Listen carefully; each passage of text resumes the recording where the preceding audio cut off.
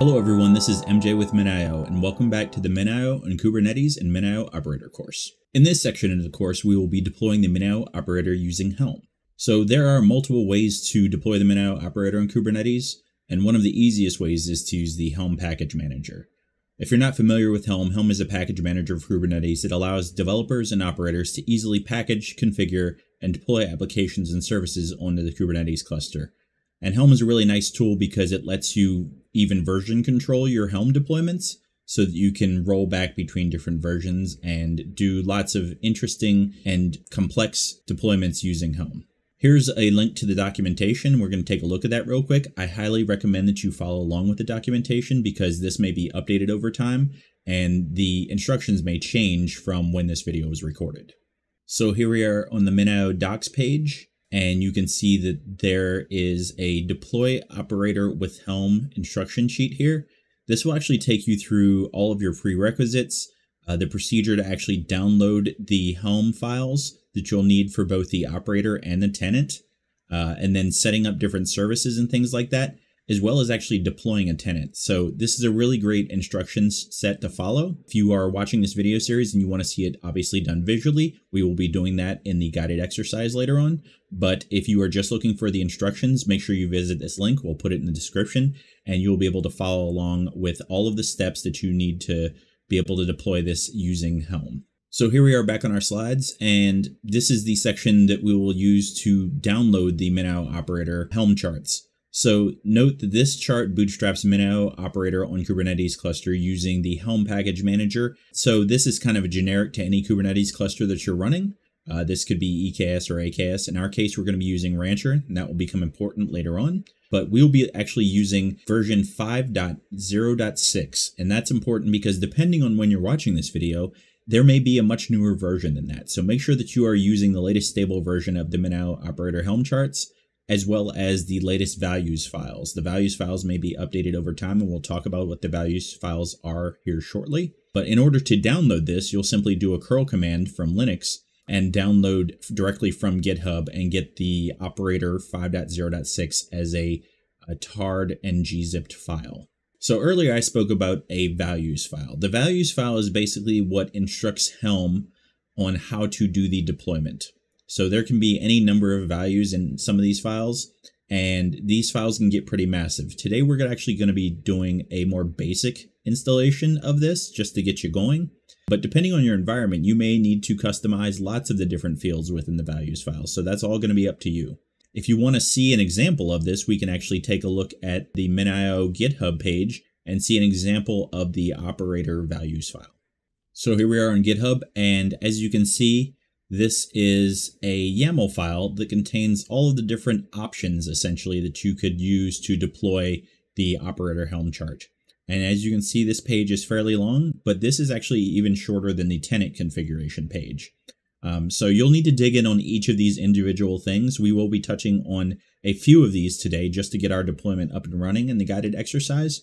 But you'll need to really get in here and understand all of the different options that you can configure before you go and actually deploy this on your own environment, just to make sure that you've fully gone through and understand how this is going to interact with your particular infrastructure in order to customize the values file, we don't want to just go grab any random values file. We could go directly to GitHub, but then that would risk you potentially grabbing the wrong version of the values file because the values file is going to be updated depending on the version of the operator Helm chart you're using. So what I recommend is actually that you take the downloaded zipped up operator version, whatever you've installed, in our case it's 5.0.6, and actually untar that to your local machine and use the values file that's included in there as your starting point for modification.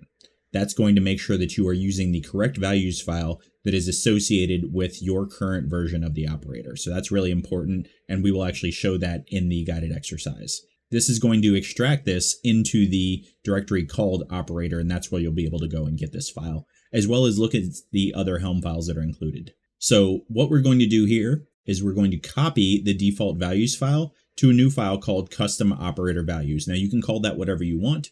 If you're deploying this to multiple different environments, maybe you'll want to name that file something unique that lets you know which environment this was used to deploy. But this is also a good opportunity for you to commit this to source code control, something like GitHub, so that you now have a record of all of the exact values that you use to actually deploy that particular deployment. And now you and your team can reference back to that. In this particular scenario, we're actually going to modify just a few different things in this file. As I showed you, there are a number of different options, maybe, you know, a few dozen different options in there. However, uh, we're only going to be focusing on four today to get this up and running. So the four that we're going to modify in our custom operator values YAML file are the number of replicas. In this case, we're running a single node Kubernetes cluster on K3S.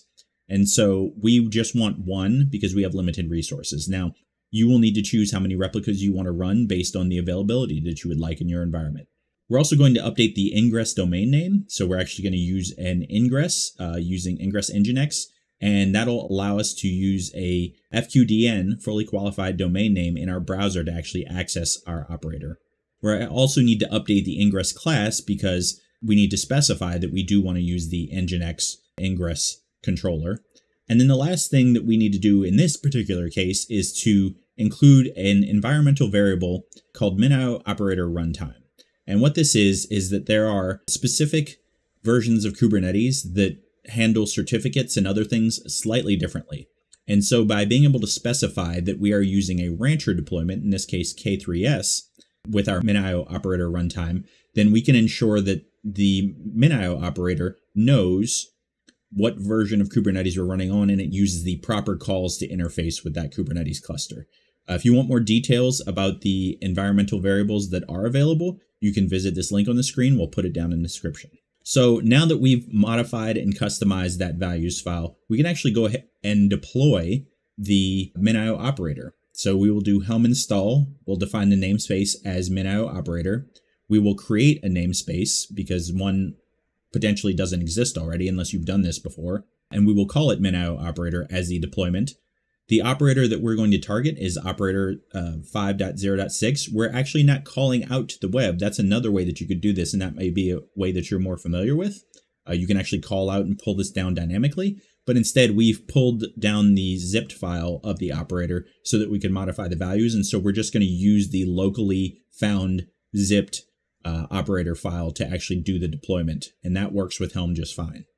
And then we're going to specify the values file as the custom operator values file that we copied out from that default values file and then modified. It may also be necessary to create some additional resources for the MinIO operator to function properly. So there's a couple different things that depending on your setup, you may need to do. So let's say that you do not have a domain name that you can point at this. The default way to access the console is using port forwarding, but that's ephemeral. Once you close that out, you can no longer access the console there.